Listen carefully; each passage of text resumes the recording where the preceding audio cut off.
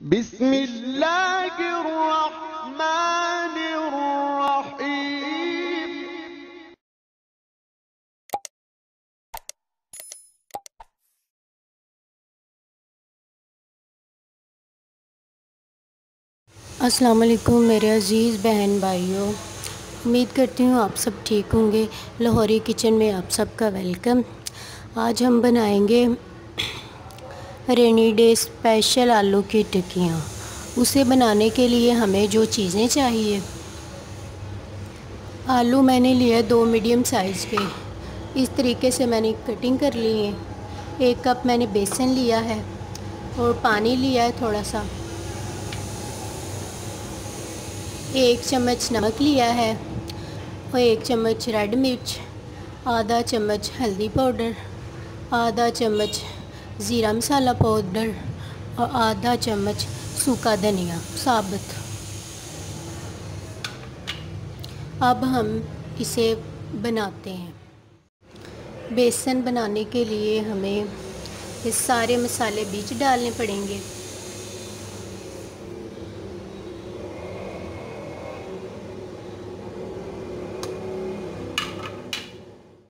चम्मच की मदद से इन्हें मिक्स कर लें।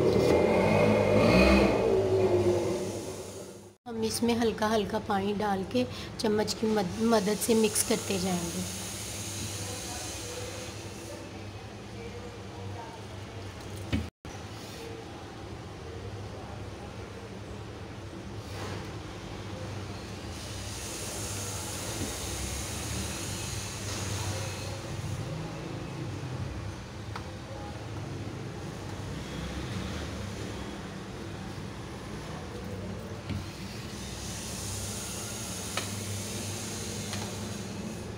अच्छे तरीके से मिक्स करना है इसको पानी में।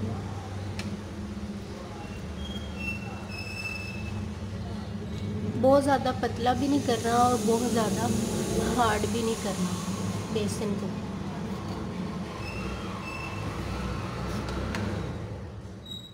हम इसमें हल्का हल्का पानी डाल के चम्मच की मदद से मिक्स करते जाएँगे।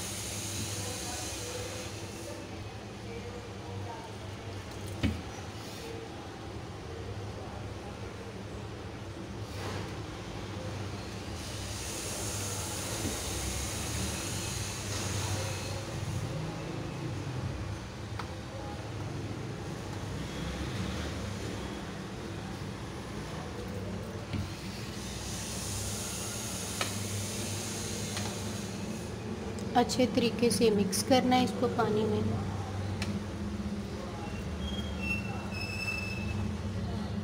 बहुत ज़्यादा पतला भी नहीं करना और बहुत ज़्यादा हार्ड भी नहीं करना बेसन को।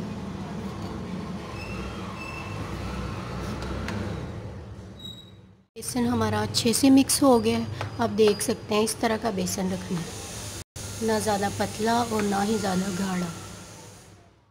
ऑयल हमारा गरम हो रहा है। ऑयल हमारा गरम हो चुका है। अब हम टिक्कियाँ डाल देंगे बीच।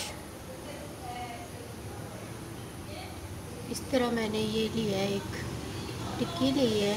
इस तरीके से हम डाल देंगे। दोनों साइडों पे अच्छे से लगना चाहिए।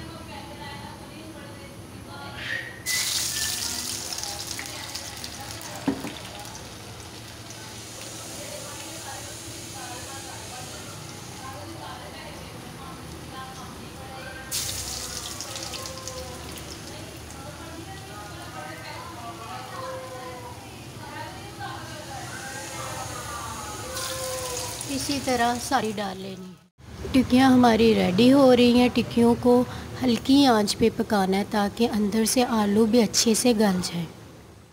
देखिए टिक्कियों पे ना कितना ज़्यादा प्यारा कलर आ रहा है। देखिए। अभी इनको और ज़्यादा ब्राउन होने देते हैं, फिर निकाल लेते हैं। टिक्कियाँ हमारी रेडी हो चुकी हैं। अब हम इसे अलहदा प्लेट में निकाल लेते हैं।